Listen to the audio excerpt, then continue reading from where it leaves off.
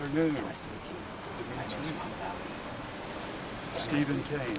In a small town like Shelbyville, there's a lot of distrust because of the 9 11 aftermath and the Islamic issues that have come with the Somali refugees. Thank you. And it's tough to have interreligious dialogue when there is that backdrop. The first things I appreciate uh, you're coming to my visit to my, my house and and we are living in Shelbyville about a couple of years, about 2006, something about three years now. And you know, in uh, our our countries, there is civil war that's coming here. That's we come here to. You said you've been here three years. Has it become more home, or does it still feel like a foreign place? I, I feel it's like my, my, my home. I don't feel I'm like like I'm stranger now. I feel I'm in my, in my I'm living in my house. I serve a um, Presbyterian church here in town behind the post office. The big church in the mm. post office, I know. I, I know we have significant differences in our faith, our belief, our practice. So for the two of us to be sitting in the same room and talking in a lot of Christians' eyes is not a good thing because they believe that my purpose is to convert you.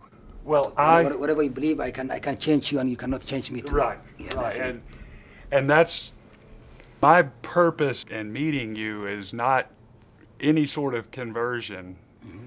I respect you and your beliefs, but it is a difficult situation for a lot of folks here because they see things on television or hear things or rumors about Islam, and then you're here and you're peaceful and accommodating and welcoming, and it's how can we help?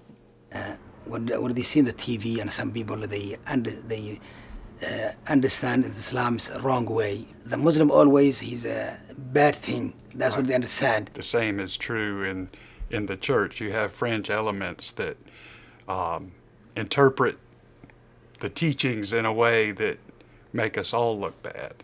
Uh, that's what they say. There's good and there's bad. One of the things that I am most impressed by um, your religion is your holding on to your tradition. And like you say, we're not going to change each other's beliefs, but I hope that we can talk again and, and bridge together. Bridge, yes. I Some of the things that are. I hope so too. And we, we, we, we meet together again more and more, and we learn something, and I don't know, something you know, and we share together, we combine together. I hope, I, I hope so. This, I wish to. Community-wide, we're still a long way to go. And hopefully in the future, more of this dialogue can take place. And it's not easy. But ultimately, I'm driven by my understanding of faith and that this is what the kingdom of God is about. That we, as God's children, need to learn how to get along together